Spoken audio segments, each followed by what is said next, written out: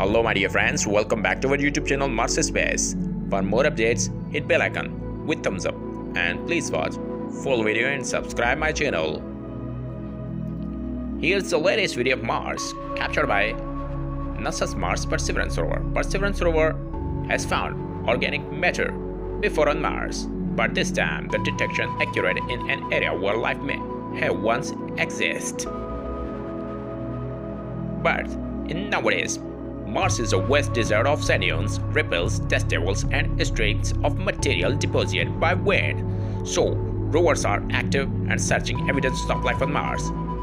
Mars Perseverance rover and Mars Curiosity rover, both Mars rovers as well as orbiters, have found plenty of evidence for life in ancient past. What's your thoughts about life on Mars?